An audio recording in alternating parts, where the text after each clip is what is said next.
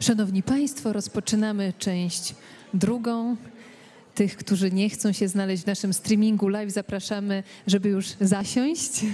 Dziękujemy serdecznie. Witamy wszystkich, którzy po przerwie nadal oglądają nas w streamingu live.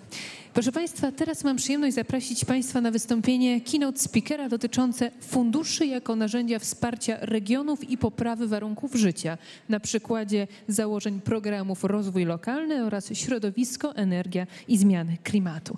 A na scenę, by zaprezentować właśnie ten temat, zapraszam doktora Piotra Mikołajczyka, reprezentującego UNEP GRIP. Przedstawi on środowiskowe aspekty rozwoju lokalnego. Zapraszam bardzo serdecznie na scenę.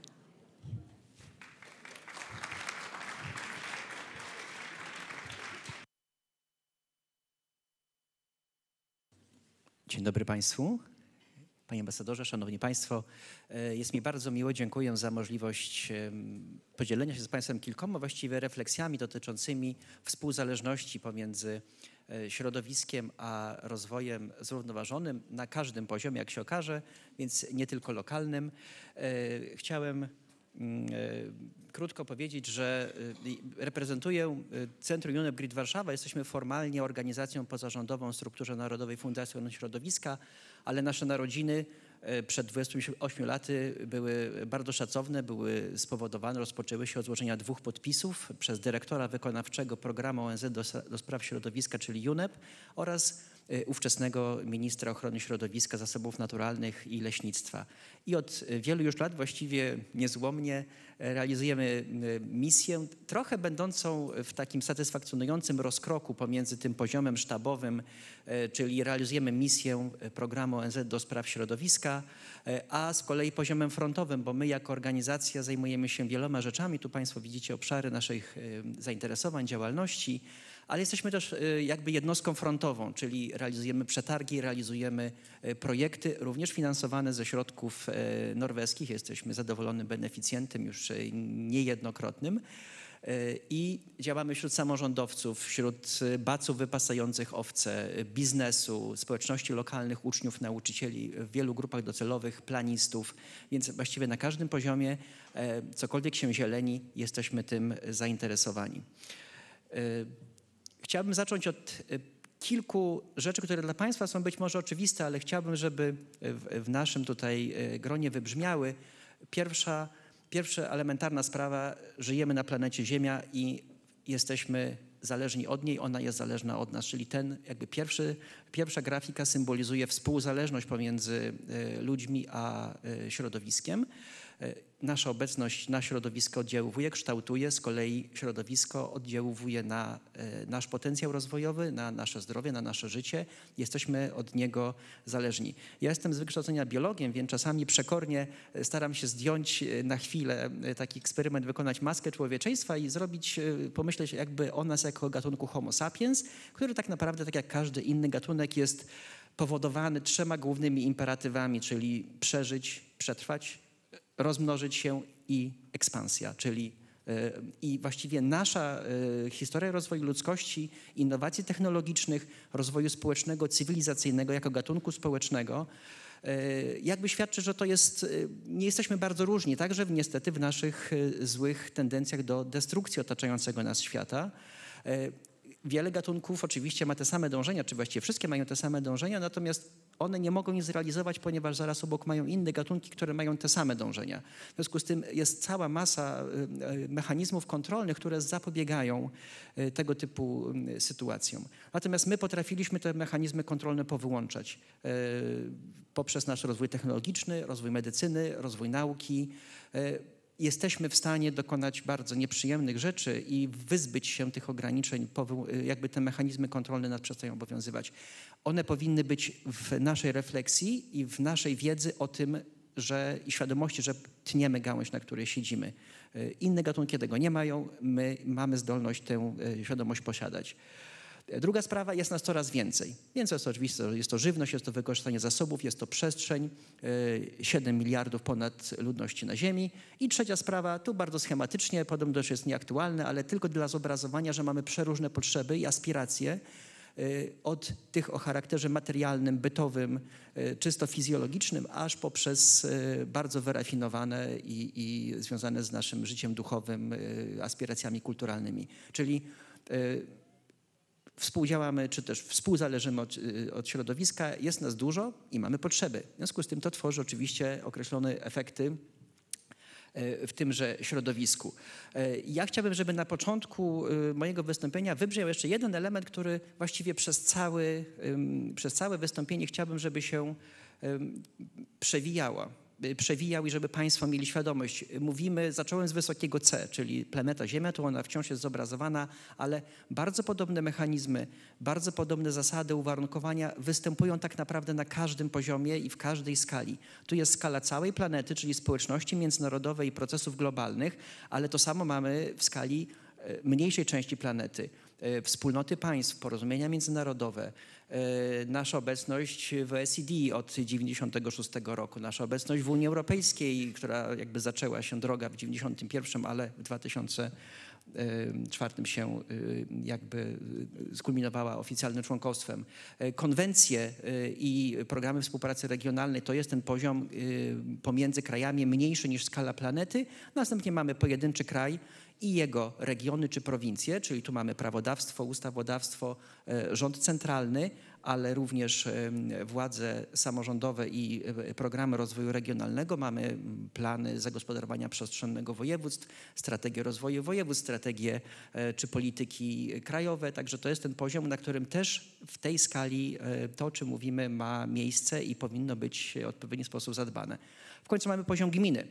E, podstawowa jednostka podziału administracyjnego, e, tam jest społeczność lokalna, tam jest samorząd, tam jest planowanie przestrzenne, tam są decyzje i świadomość, e, procesy inwestycyjne, więc świadomość gospodarowania w małej, czasami bardzo ojczyźnie, w oparciu o lokalne uwarunkowania to jest też miejsce i skala, w której te, te, te procesy, o których mówiłem, te, za chwilę pokażę wyzwania czy, czy cele zrównoważonego rozwoju, to można też w tej skali rozpatrywać, mieć na uwadze, mieć z tyłu głowy, interpretować.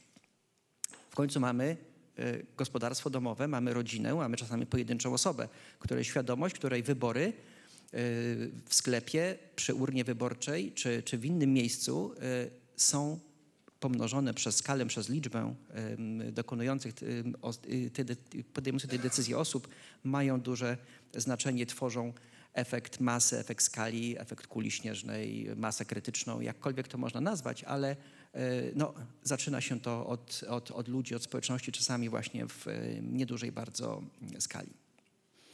E, ten slajd ja jakby chciałem Państwu przy jego pomocy zestawić główne czy trendy, czy wyzwania środowiskowe, tak bardzo może, może no, wybrane dosyć, dosyć spontanicznie, natomiast, natomiast niżej są przejawy, znaczy czerwonym kolorem są przejawy ludzkiej działalności, czy ludzkiego funkcjonowania, czyli to, co nas dotyczy, a powyżej właśnie elementy środowiska, które z tym współgrają. E, e, moim początkową jakby intencją było, żeby, żeby uzmysłowić powiązania i wzajemne współzależności przy pomocy no, strzałek, diagramów. Natomiast jak zacząłem to robić, to nagle ten, ta cała plansza była pokryta strzałkami biegnącymi we wszystkich możliwych kierunkach, dlatego że Państwo sobie doskonale zdajecie sprawę, że te elementy są ze sobą e, wzajemnie powiązane. Woda i produkcja żywności, rozwój miast to powietrze i też różnorodność biologiczna, no bo tereny zieleni. Więc właśnie powiem na chwilę zamiast zamilknąć i, i pozwolić nam wszystkim kontemplować te, te, y, te współzależności. Dwie rzeczy są wyróżnione większą czcionką.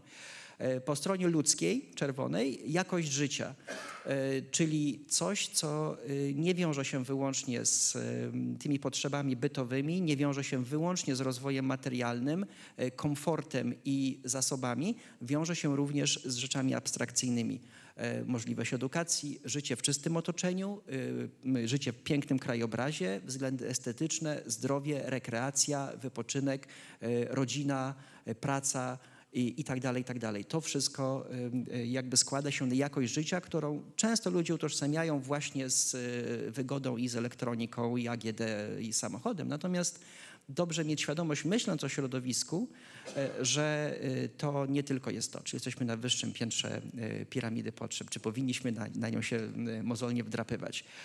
Po stronie niebieskiej wyróżniony jest klimat i pamiętam na konferencji klimatycznej w Warszawie na Stadionie Narodowym w tej, na tę konferencję przybyli również przedstawiciele naszej e, kwatery głównej w Nairobi, UNEP, i tam padło bardzo ważne jakby zdanie, które utkwiło mi pamięć, mianowicie, że klimat jest tak naprawdę, czy zmiany klimatu i nasze procesy klimatyczne globalne są tak naprawdę pierwszym w historii ludzkości E, wyzwaniem o rzeczywiście charakterze globalnym, dlatego że w wielu miejscach występowały różne problemy. Gdzieś jest zanieczyszczone wybrzeże, e, gdzieś giną gatunki, e, tutaj mamy do czynienia z powodziami, tu wybuchł wulkan.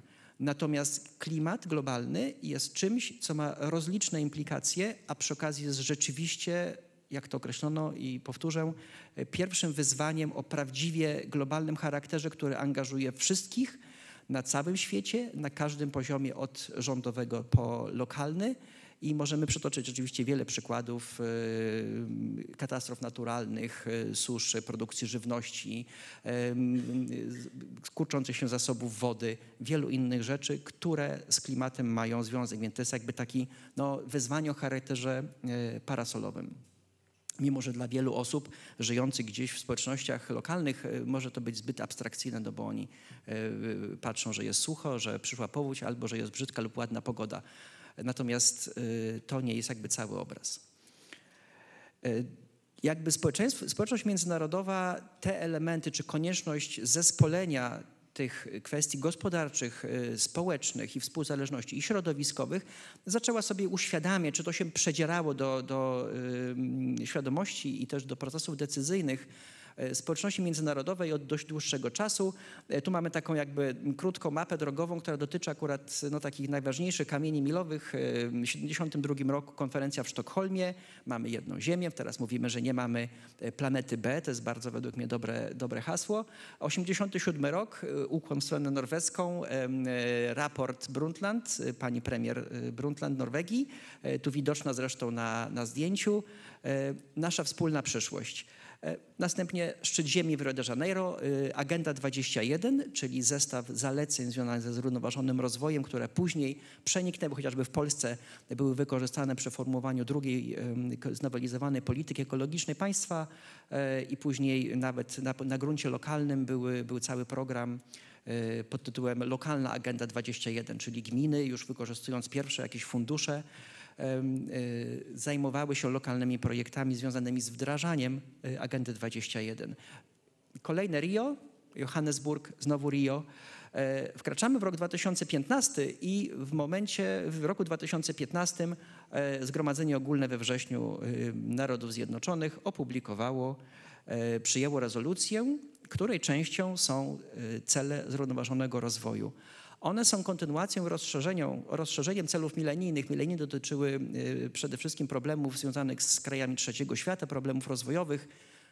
Y, cele zrównoważonego rozwoju, czyli y, te sformułowane w 2015 roku, one już mówią o tym, że dotyczą wszelkich wyzwań, dotyczą całych, wszystkich krajów, wszystkich społeczności wysoko rozwiniętych. Każdy ma swoją rolę i każdy ma swoje wyzwania i rolę do spełnienia, aby Ziemia toczyła się po orbicie w sposób możliwie środowiskowo i społecznie, gospodarczo niezakłócony, harmonijny.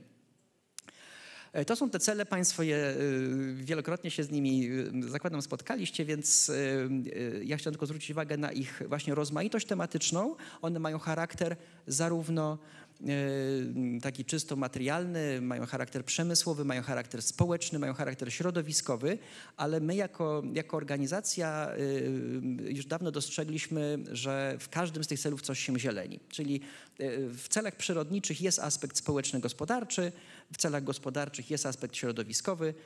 Dla, dla przykładu, żeby przez te wszystkie cele, oczywiście nie jest moim zamysłem przebiegać, ale kilka wybranych, które z premedytacją nie są celami środowiskowymi, ale e, jest w nich zawarta środowiskowa myśl. E, cel e, trzeci, dobre zdrowie i jakość życia, Tutaj mamy elementy, cele są podzielone, 17 celów, 169 zadań, dosyć długi tekst, jest tylko takie wyrywki. Cel trzeci na dole, dobre zdrowie i jakość życia. Tam jest element związany z jakością, właśnie z, z, ze stanem zdrowia i z chorobami wywołanymi przez E, niewłaściwy stan środowiska, czy brudną wodę, to jeszcze e, niedawno był dość, dość e, i czy, czystość powietrza, czystość wody. Bardzo wysoko jest hałas, o czym warto pamiętać. Hałas jest jednym z głównych czynników środowiskowych negatywnie oddziałujących na zdrowie, mimo że nie jest to nic wdychanego lub spożywanego. W każdym razie te elementy związane ze środowiskiem na zdrowie oddziaływują. Czysta woda i warunki sanitarne jest to oczywiste, tam jest efektywne wykorzystywanie. Na gruncie lokalnym można mówić o, o, o ściekach, o, o y, odsalaniu, y, recyklingu wody, ochrona ekosystemów zależnych od wody, mokradłowych, retencja, y, cieki, zbiorniki wodne jak również wody podziemne. W celu siódmym, czysta i dostępna energia, mamy przede wszystkim efektywność energetyczną i odnawialne źródła energii, czyli też ewidentnie rzecz technologiczna, energia coraz więcej potrzeba, ale mająca znaczenie e, jakby środowiskowy wymiar e, pozyskiwania nowych e, źródeł energii. Innowacyjny przemysł infrastruktura, cel dziewiąty. Tam też jest mowa o efektywnym wykorzystaniu zasobów, o czystych i przyjaznych środowiskowo technologiach oraz procesach produkcyjnych, zrównoważone miasta. E, niedawno odbyła się konferencja w Wiedniu, kilka dosłownie w zeszłym tygodniu, y, UNIDO, czyli y, programu Agencji Narodów Zjednoczonych do Spraw Rozwoju Przemysłowego. I tam właściwie kolega, który przyjechał, ja go starałem się zainspirować, żeby przysłuchiwał się, właściwie nie było tematu, stolika, wystąpienia, w którym elementy środowiskowe na bardzo technologicznej konferencji y, nie miały miejsca, więc wszędzie jakby już jest zrozumienie i, i pojmowanie tej koniecznej spójności pomiędzy komfortem życia mieszkańców, rozwojem miast e, i kwestiami środowiskowymi w tychże e, miastach występujących. E, no i w końcu cel 12, odpowiedzialna produkcja i konsumpcja, czyli efektywne wykorzystanie zasobów, niemarnowanie żywności, styl życia zgodny z naturą, czyli wracamy do poziomu pojedynczej rodziny, decyzji, wychowaniu młodych pokoleń w duchu świadomości ekologicznej. Cel trzynasty, przed chwilą o nim opowiedziałem, więc klimat jako wyzwanie, które, które jest takie, no, wiąże wiele wątków i jest y, bezprecedensowe w y, naszej historii. Co jest potrzebne, aby y, tym wyzwaniom starać się sprostać i starać się skutecznie realizować wytyczne czy, czy kierunki sformułowane, zawarte w celach zrównoważonego rozwoju. Żarówka oznacza wiedzę, świadomość. Przy czym wiedza, była mowa w trakcie panelu o roli e, kompetencji, roli, roli jego potencjału e, społeczności czy ludzi. Natomiast ja chciałbym zwrócić uwagę, że jakby e, wiedzę można traktować na dwóch poziomach, czyli z jednej strony jest to kształcenie kadr specjalistycznych, czyli dawców wiedzy, y, twórców technologii, dostarczycieli pewnych rozwiązań innowacyjnych, naukowców, ekspertów, y, decydentów.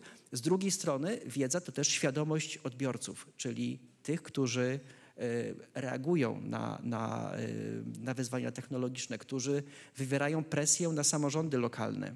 Tak, że wójt, czy pani wójt, czy pan wójt w gminie może mieć świetne pomysły związane z kształtowaniem przestrzeni, ale E, oddech wyborców czasami powoduje, że te decyzje mogły być inne, lepsze. E, I stąd świadomość nas jako e, konsumentów, wyborców lub wyznawców ma tutaj dość duże znaczenie.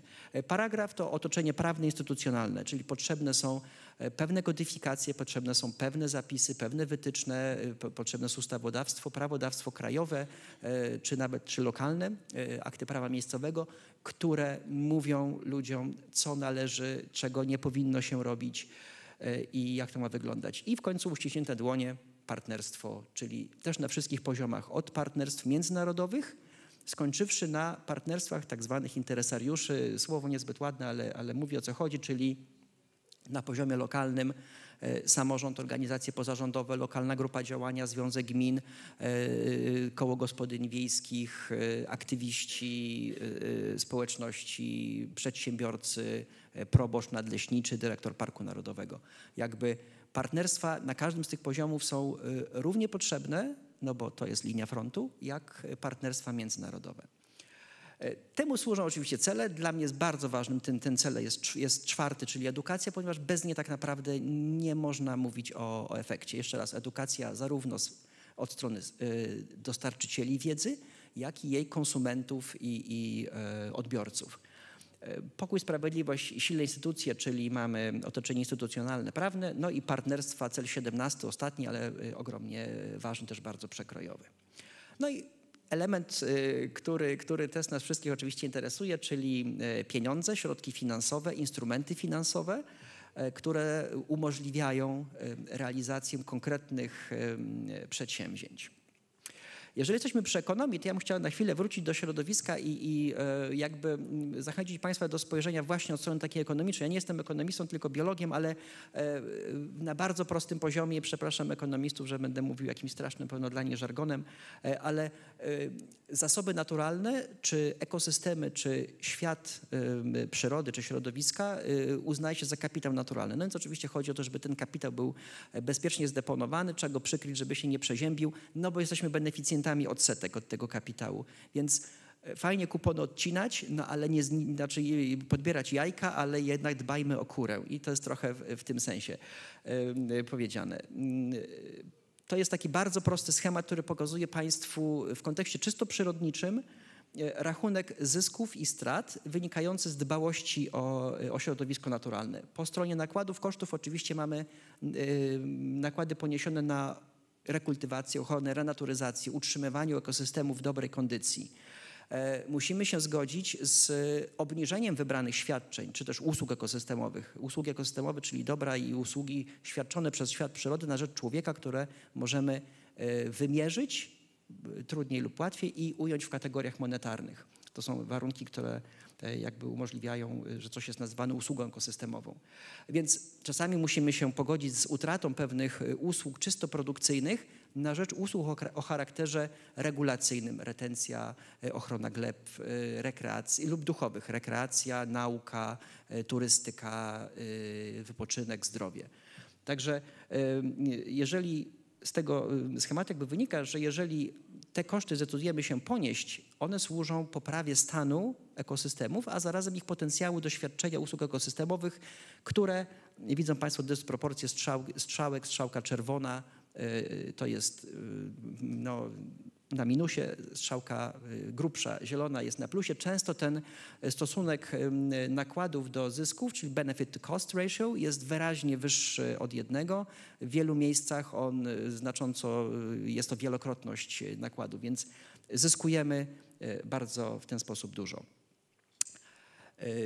I jakby zachęcamy w naszych projektach i wszystkich zachęcam, aby jednak zastosowali, to jest dla y, osoby o przyrodniczym, zielonym sercu, jest to może zabieg niezbyt, y, jest to zabieg kontrowersyjny, no bo przyroda ma też, y, środowisko naturalne ma też swój, swój wymiar taki niewymierny, taki jakby, który nie powinien być wyceniany, nie powinno się tym handlować, nie powinno się tego przeliczać na pieniądze. Natomiast w wielu procesach decyzyjnych i w wielu e, decyzjach inwestycyjnych, e, e, lokalnych, różnych uwarunkowaniach, to są niestety argumenty, liczby z wieloma zerami przemawiają skuteczniej niż abstrakcyjne hasła o zachowajmy ziemię dla przyszłych pokoleń. To jest piękne. Dużo bardziej pragmatyczne jest powiedzenie, powiedzenie pomyśl w jakim świecie będzie, drogi panie wójcie, droga pani prezydent, żyło pani, pana dziecko wtedy natychmiast ludzie zaczynają myśleć, a to jest nie tylko sprawa abstrakcyjna, to jest moja sprawa. Inaczej działają. Podobnie działają, myślę, usługi ekosystemowe. E, chciałbym zakończyć e, e, swoje, swoje wystąpienie od, odwołaniem się właśnie do, do funduszy czy do instrumentu finansowego, który umożliwia działania mm, lokalne, państwo reprezentujecie tu obecni na sali, słuchający elektronicznie nas. E, wiem, że reprezentujecie bardzo różne podmioty, potencjalnych beneficjentów. My też jako organizacja pozarządowa e, do tychże beneficjentów się zalicza i, i będziemy zainteresowani bardzo uczestnictwem w, w tej edycji funduszy. E, z poprzednich doświadczeń uznajemy je za przyjazne użytkownikowi i, fajne. I to mówię zupełnie nie dlatego, że jestem akurat tutaj w obecności e, przedstawicieli państw darczyńców, ale rzeczywiście taki, taka jest moja e, refleksja. I przeglądając te wytyczne programowe, mm, pan dyrektor mówił, że one i wskazał miejsca, gdzie one są dostępne w, szczegółach, można się zapoznać, ale przegląd obszarów czy programowych, czy kierunków wsparcia, czy tematów, czy typów projektów, które zyskają wsparcie, uzmysłowi Państwu, że właściwie i to w różnych programach, tak, czyli i środowiskowy, który zawiera elementy technologiczne, i rozwój, który zawiera elementy środowiskowe, E, że właściwie e, zakres tematyczny e, funduszy umożliwia rzeczywiście bardzo różne pomysły, które w sposób twórczy, odpowiedni będą zespalały ze sobą te trzy filary zrównoważonego rozwoju na gruncie lokalnym, czyli rozwój gospodarczy, obecnie mówi włączenie społeczne i dbałość o stan środowiska. Także zachęcam bardzo do aplikowania.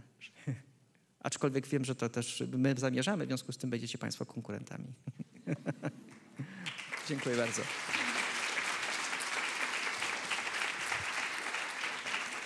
Dziękuję bardzo serdecznie. Mimo wszystko tak, zachęcamy do aplikowania, zachęcamy do tego, żeby jak najwięcej tych pomysłów się pojawiało, bo za chwilę porozmawiamy też o pewnych aspektach konkurencyjności versus współpracy, jak już wcześniej zapowiadałam. I dlatego teraz będę miała ogromną e, przyjemność zaprosić Państwa na wywiad z ekspertem Współpraca bilateralna w warunkach wielokulturowości. Zwieńczymy dzisiejszy dzień rozmową, e, której ekspertką będzie pani profesor Nina Witoszek. Będę miała przyjemność przeprowadzić z nią wywiad właśnie na temat tej współpracy w warunkach wielokulturowości. A Zanim zaproszę ją na scenę, przedstawię w kilku słowach, chociaż to będzie oczywiście przedstawienie skrótowe e, w perspektywie wspaniałego dorobku pani profesor. Profesor historii kultury na Uniwersytecie w Oslo, wykładała w Instytucie Europejskim we Florencji, na Uniwersytecie w Galway, Irlandia, a także gościnnie na Uniwersytecie Stanforda i Uniwersytecie Cambridge. Debiutowała jako irlandzka pisarka Nina Fitzpatrick zbiorem opowiadań Fables of the Irish Intelligentsia w 2003 roku, za które otrzymała prestiżową nagrodę The Irish Times i Aer Lingus.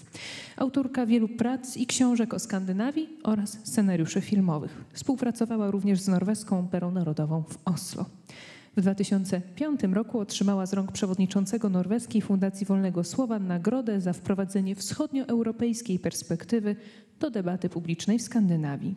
Jako pierwsza Polka została stałą felietonistką i komentatorką w największym norweskim dzienniku Aftenposten.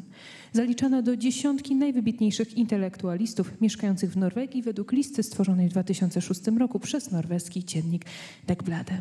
Zapraszam panią profesor serdecznie na scenę.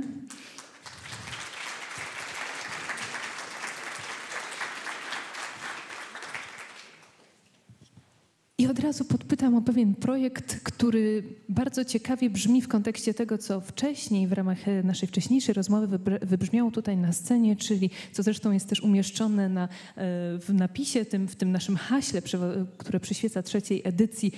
Europa konkurencyjna. Tak? Wiem, że pani profesor współpracuje i z norweskimi i międzynarodowymi partnerami nad projektem, który chce pokazać, że współpraca versus, konkurencyjność, versus konkurencyjność może wcale nie dawać takiej oczywistej odpowiedzi, że ta konkurencyjność jest lepsza. Więc podpytam, na czym bazuje ten projekt jakie ma założenia, jakie cele? Co, o co w tym projekcie chodzi?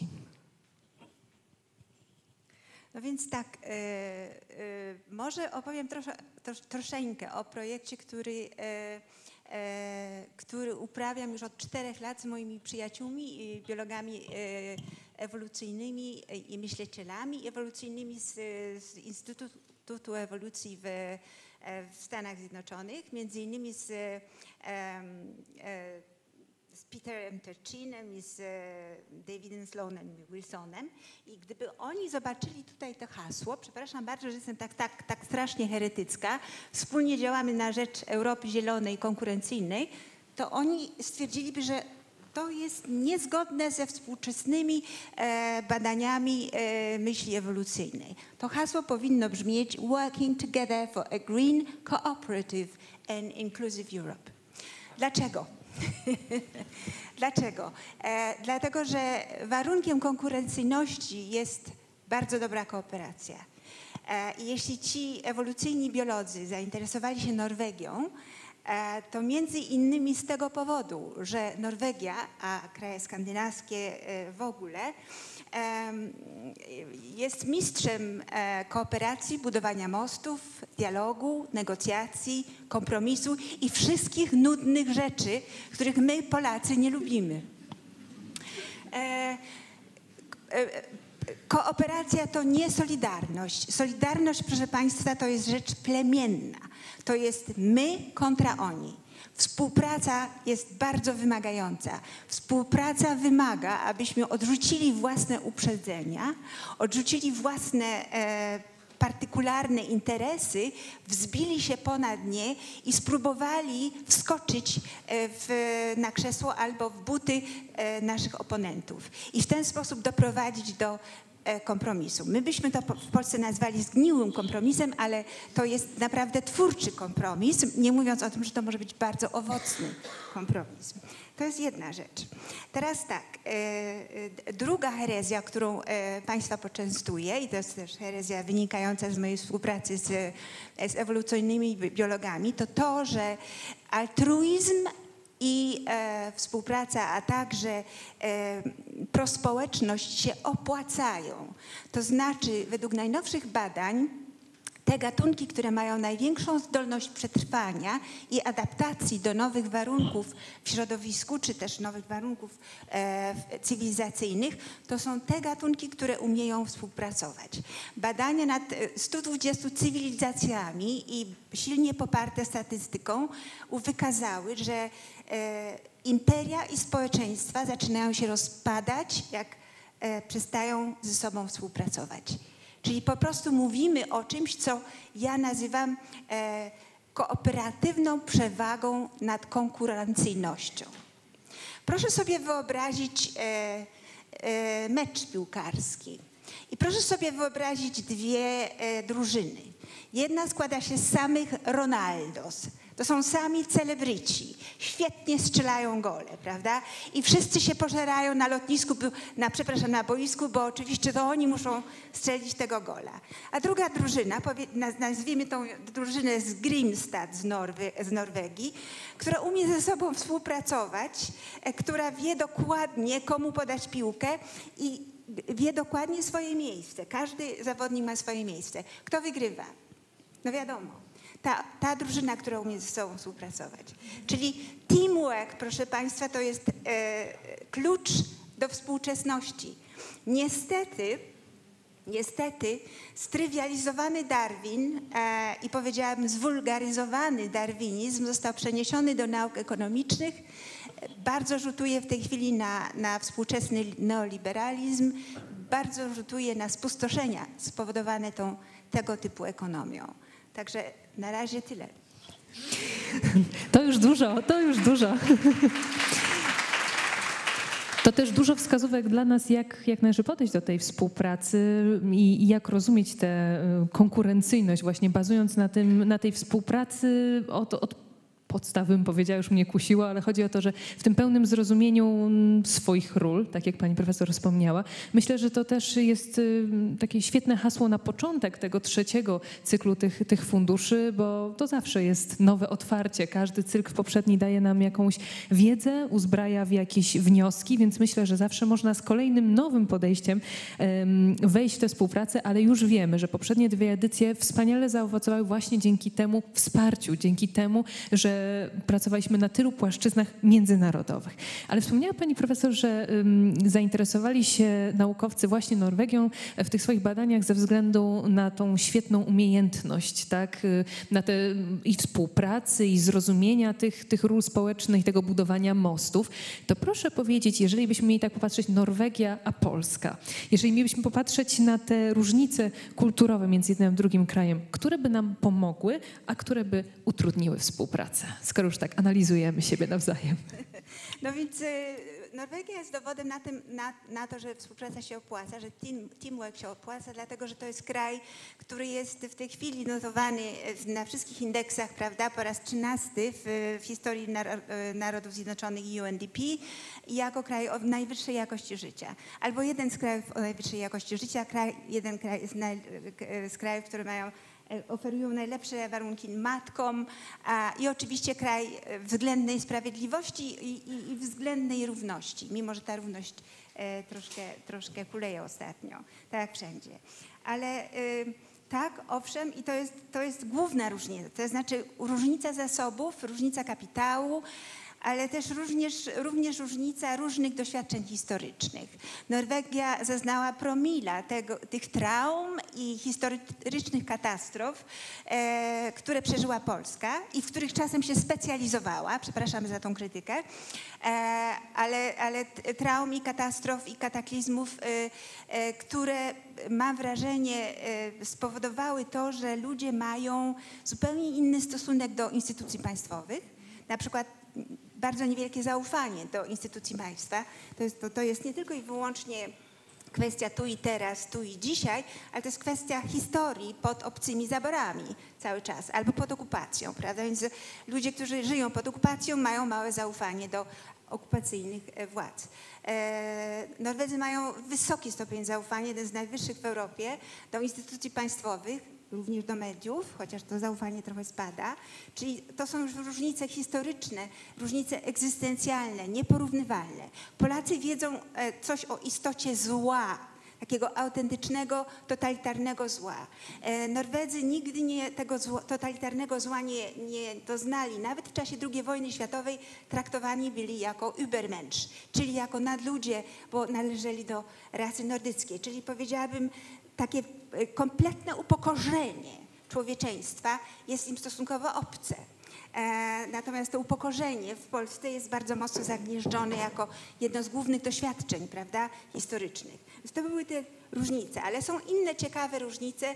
E, Polacy są e, bardzo osadzeni w tradycji, która, którą ja nazywam barokowo-romantyczną. To jest taki barokowy romantyzm, w którym dominują emocje, irracjonalny heroizm, kawalerstwo, gościnność, postaw się, a zastaw się, teatralność i przesada.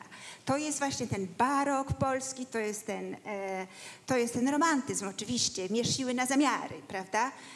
Norwedzy są poniekąd biegunowo przeciwni. To, jest, to, to nie jest proste, proszę Państwa. Komunikacja między tymi kulturami nie jest prosta i z tego sobie nie zdajemy sprawy. Bardzo często jeździe, jeździmy do Norwegii, jeździmy do Polski i nie, nie bardzo wiemy dokładnie, jak tu, gdzie tu się zatrzymać i w którym momencie zacząć mówić innym językiem. Norwedzy to jest przeciwieństwo, to znaczy to jest tradycja silnie osadzona jak pisałam w swoich książkach, w tak zwanym chrześcijańskim oświeceniu, e, które jest bardzo moralistyczne, bardzo mocno e, skoncentrowane na potędze rozumu i rozumnego Boga, e, bardzo mocno osadzone w, egalitaryzmie, e, który kontrastuje z polskim hierarchizmem, prawda? Bo my mamy tą hierarchię, mieliśmy arystokrację, mieliśmy szlachtę, e, więc ten norweski egalitaryzm zderza się z tym polskim, z tą polską hierarchijnością i z tą, z tą, z tą, z tą polską e, drabiną, prawda? I, i, i pres- prestiżu, i zaszczytów i tak dalej. Więc to jest dość duże zderzenie cywilizacji. Em, ale są jeszcze inne sprawy.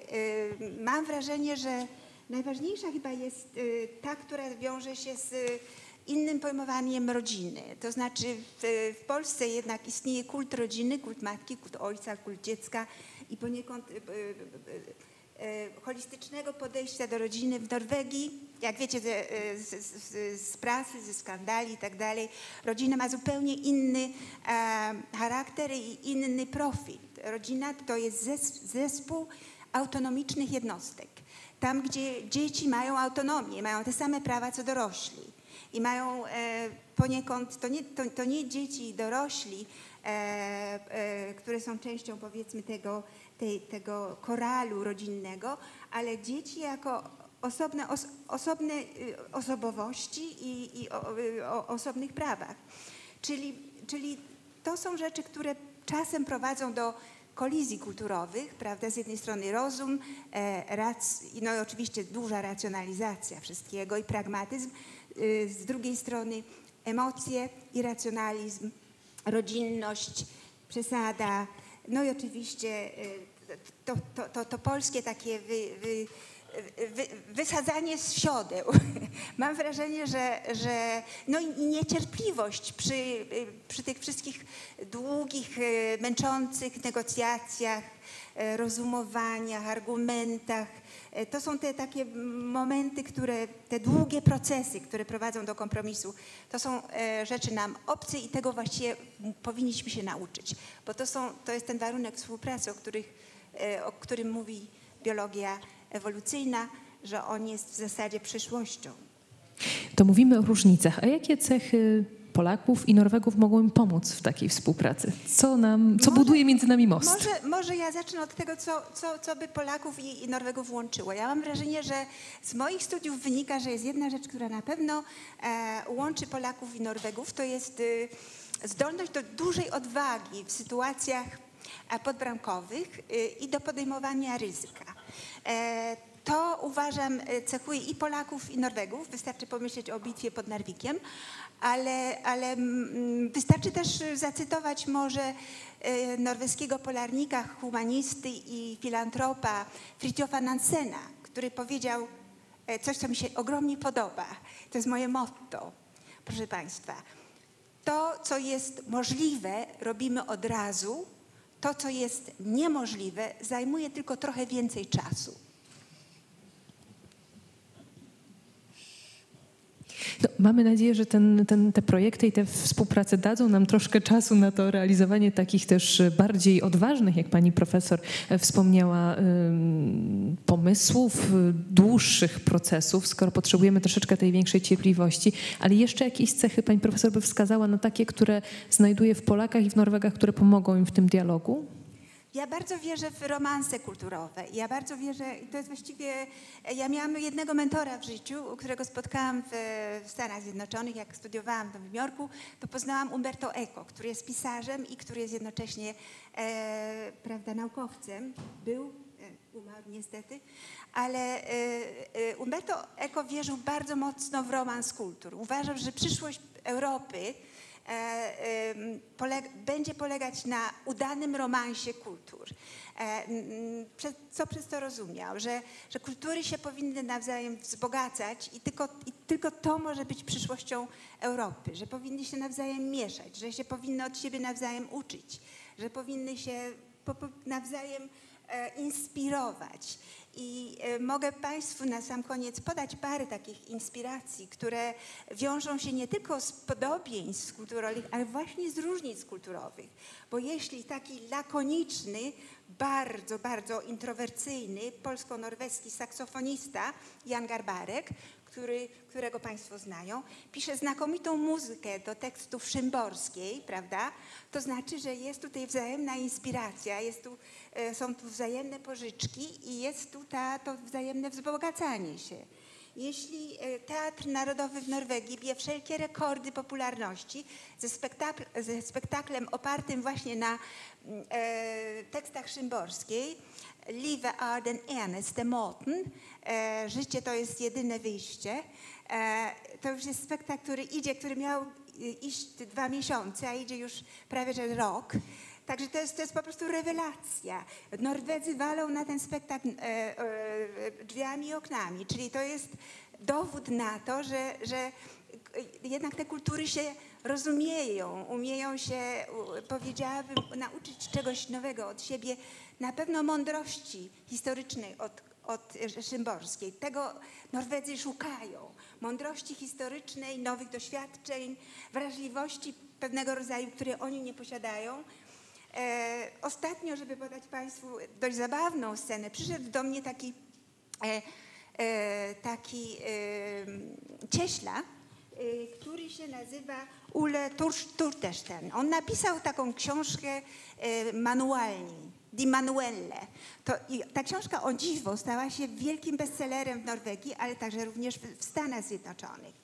No i ten, ten Ule przyszedł do mnie któregoś dnia i powiedział, Nina, wiesz co, ja już jestem zmęczony tymi, tymi y, manualnymi w Norwegii ja chciałam, chciałbym pojechać na budowę, ro, zrobić to, co Polacy robią w Norwegii, czyli jeżdżą na budowę do Norwegii. Ja postanowiłem jako cieśla norweski pojechać na budowę do Polski i siedzieć tam przez trzy miesiące, nauczyć się, jak się buduje domy według sposobu polskiego i napisać o tym książkę.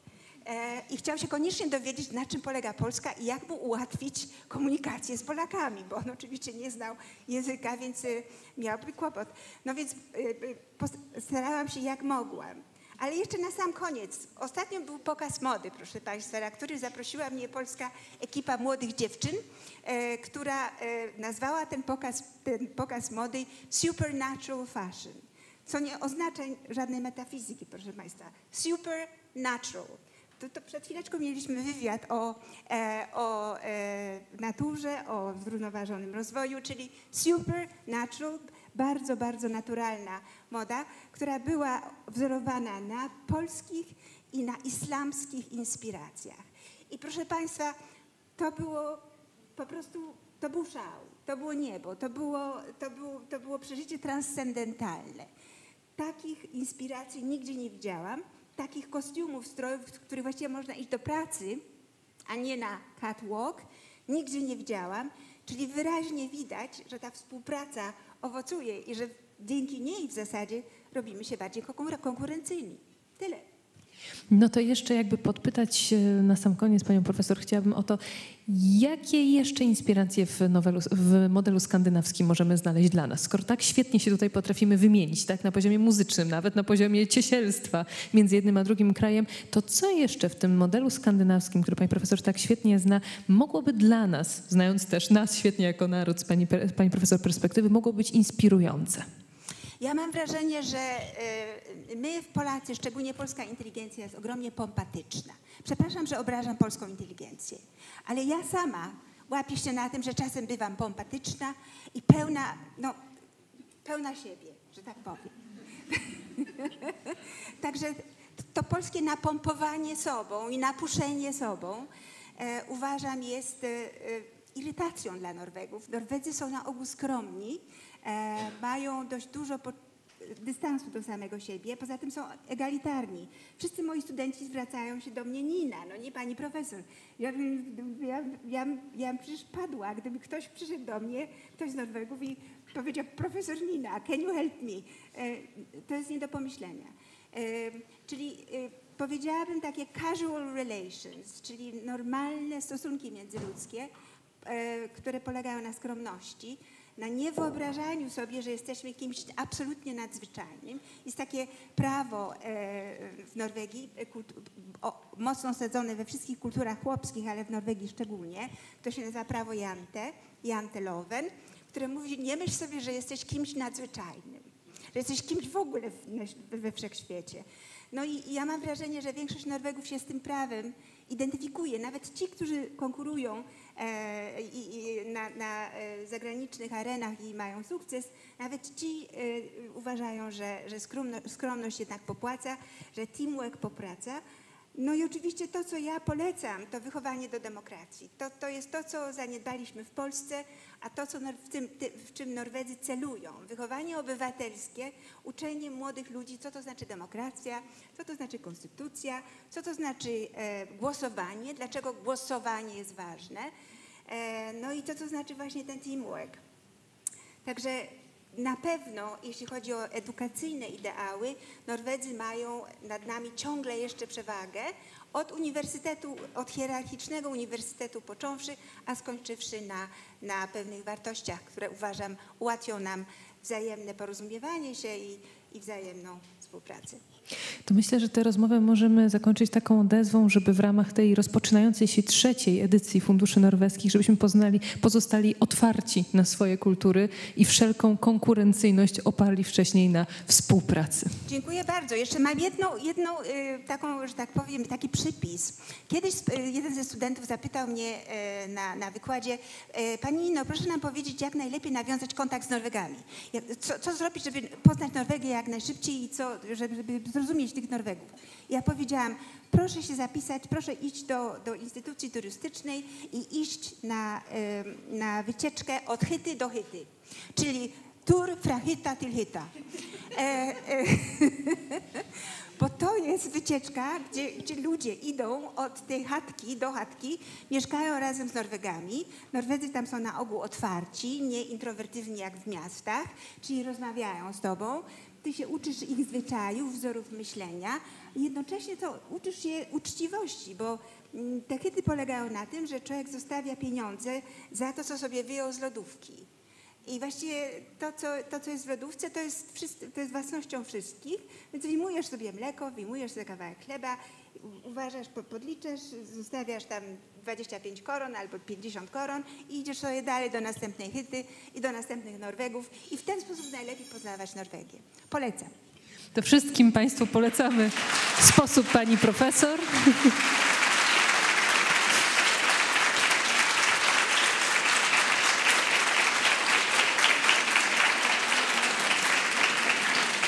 Dziękujemy bardzo serdecznie. e, Przede wszystkim pani profesor. Przepraszam za tyle tytułów pani profesor, ale wciąż jesteśmy w Polsce, tak? To, to pewnie jest niekomfortowe, ale jednak u nas, tak jak pani wspomniała, hierarchiczność jest ważna. Więc dziękujemy za przyjęcie zaproszenia. Dziękujemy za tę szybką podpowiedź, jak dobrze i szybko poznać e, węgierską kulturę. No i pamiętajmy po tej rozmowie, że podejdźmy do tej konkurencyjności wpierw od strony współpracy, a na pewno będzie nam łatwiej budować te mosty, które są tak potrzebne w ramach tej trzeciej ed- startującej edycji Funduszy Norweskich. Dziękuję bardzo serdecznie.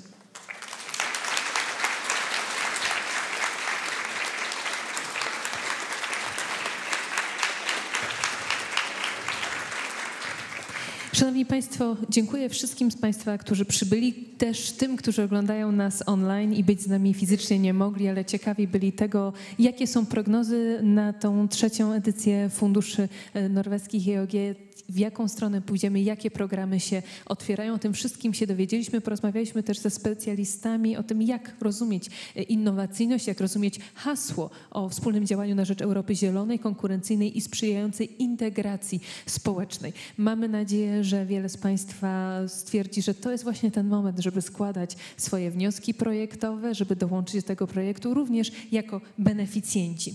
Proszę Państwa, dziękując, zapraszam te osoby, które z nami są tutaj w sali obecne na przerwę lunchową, która będzie świetną okazją do networkingu, do wymiany ostatnich myśli i być może zapoczątkowania wspaniałych współprac. A wszystkim oglądającym nas online dziękuję. Dziękuję Państwu bardzo serdecznie.